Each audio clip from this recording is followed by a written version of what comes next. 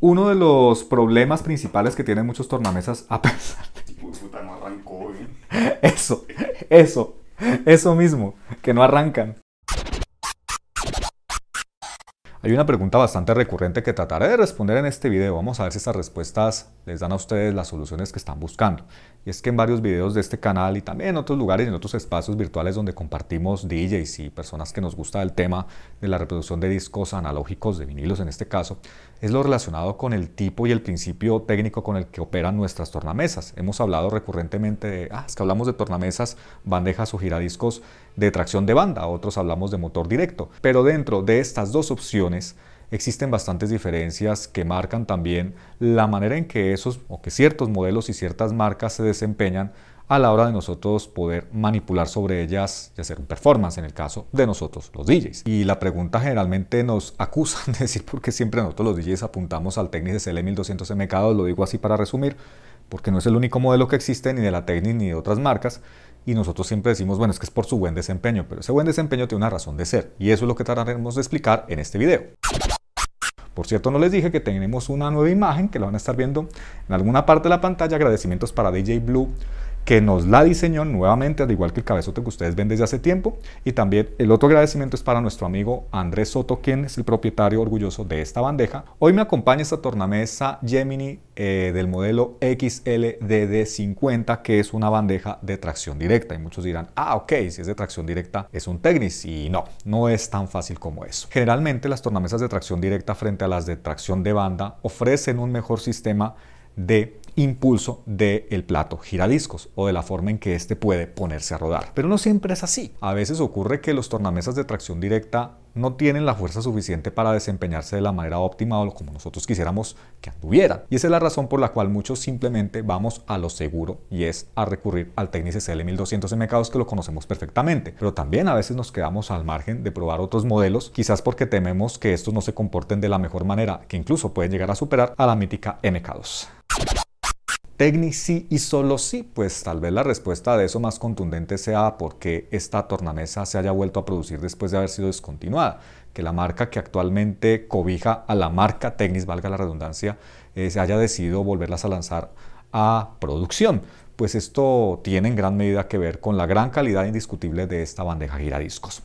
Ahora, ¿qué pasa con las otras tornamesas de motor directo? No siempre funcionan de la mejor manera debido a varios principios técnicos, pero también a la calidad de sus componentes. En el caso de esta Gemini, que es de tracción directa, eh, su comportamiento no siempre es el óptimo, pero más allá de eso, eso depende del principio técnico con el que funciona y también para la gama para la que fue diseñada. No todas las tornamesas de tracción directa son de uso profesional y eso es algo importante que ustedes deben tener en cuenta. Muchos de ustedes que nos ven aquí tienen diferentes tocadiscos en su poder y saben cuál es su desempeño. Aquellos aspectos técnicos y demás experiencias que ustedes tengan con sus bandejas, por favor no lo cuentan abajo en los comentarios. Toda esa información es muy valiosa, además que nos permite aprender de la experiencia ajena. Si ustedes son usuarios de Technics SL1200, perfecto. Si tienen otros modelos de otras marcas que consideran que están al mismo nivel o que incluso superan a las míticas MK2, también son bienvenidos sus conceptos. Ustedes creen que no es necesario gastar tanto dinero en estas marcas o estos modelos tan reputados para tener un buen desempeño, también todos sus comentarios y experiencias los leemos y respondemos aquí en la caja de comentarios. Hay un aspecto importantísimo en la Technics SL1200 MK2, pues van a decir, pero otra vez lo vamos a traer colación, si ya hablamos de esa tornamesa en un video que pondré acá, pues no se trata de eso, pero sí hay que mencionar de alguna forma porque eso es lo que marca la diferencia en el desempeño de esas MK2 tan míticas y tan reconocidas versus las tornamesas un poco menos profesionales que encontramos en el mercado ya sea del nuevo o del usado. Y es lo relacionado con el principio de tracción que diseñaron para el Technics SL1200 MK2 y que otras marcas han imitado muy bien y que han logrado perfeccionar al punto de superar a la MK2 de toda la vida. Y se trata del principio de electroimanes. Aquí en la MK2, como en otros modelos de Technics que, ojo, no se desempeñan de la misma forma que el MK2 de toda la vida, la energía magnética necesaria para hacer girar el rotor es inducida por un grupo de electroimanes que posee en su interior. Muchos modelos de Technics, pese a tener estos electroimanes, no tienen el mismo desempeño de la mítica SL1200 MK2 y los modelos que le siguieron. Pero para que ustedes sepan y conozcan cómo se desempeña esta tornamesa y similares de su tipo, de uso, digámosle, semiprofesional, no es tan top, pues vamos a encontrar algunos aspectos derivados del comportamiento de esta tornamesa que ustedes verán a continuación. Uno de los problemas que tienen muchos modelos de tornamesas de tracción directa, que no son el Technics SL1200MK2 y modelos subsiguientes, es lo que tiene que ver con la capacidad de arranque o de torque, o esa fuerza que es capaz de entregar el motor cuando está detenido el plato y él debe empezar a generar el giro.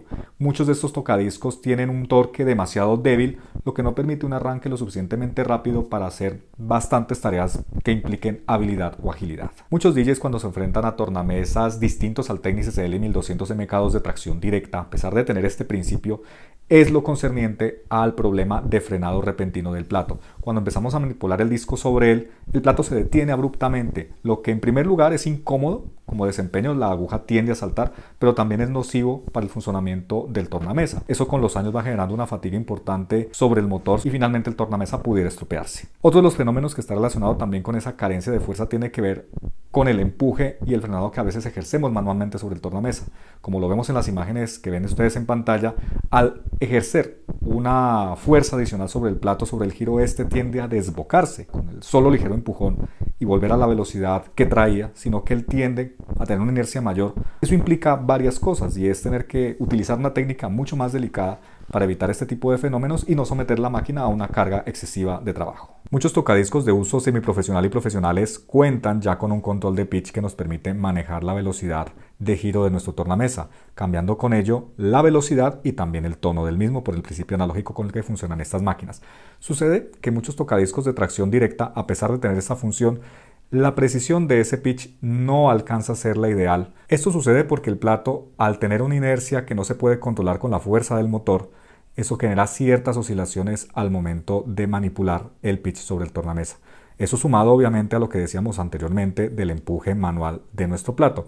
En el caso del pitch de estos tocadiscos no son tan precisos. Ahora bien, eso depende mucho de la calidad de cada máquina en particular. En las bandejas de tracción directa hay diferentes tipos de motores.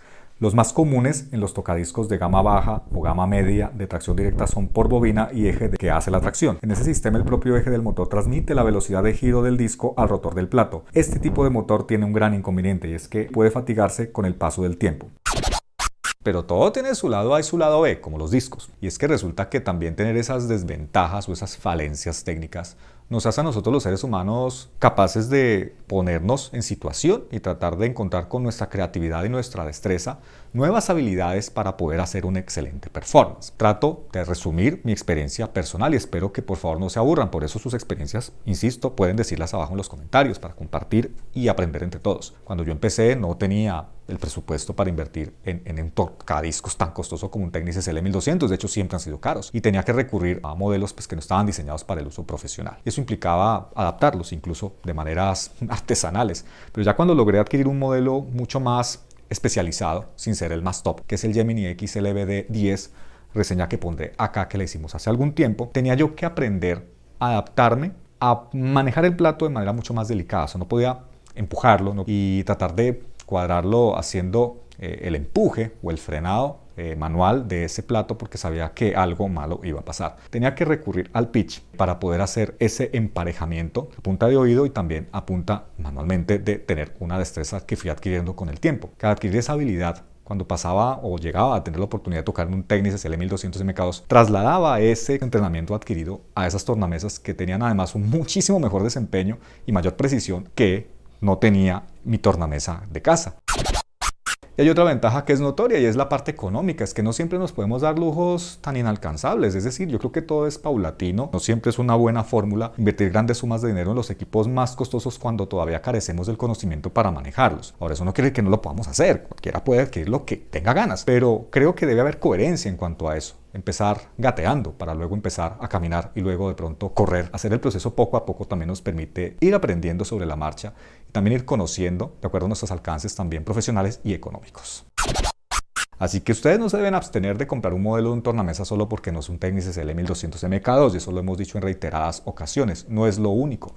Hay que entender los principios técnicos de cada modelo, que están capaces ellos de entregarnos a nosotros como usuarios. Y de acuerdo a eso, adaptarnos a ese modelo, ir aprendiendo sobre la marcha e ir desarrollando una técnica que vamos cada vez perfeccionando más. Y también de la aventura de llegar a lo que consideramos en algún punto inalcanzable. Por hoy me voy despidiendo, ya saben que con un like me ayudan un montón. Suscríbanse a este canal si aún no lo han hecho y compartan este contenido si ustedes consideran que lo dicho y expresado acá sea útil para otras personas. Así que los dejo por hoy, hasta un próximo video y sigan conectados aquí con Aguja Vinilo. Mil gracias.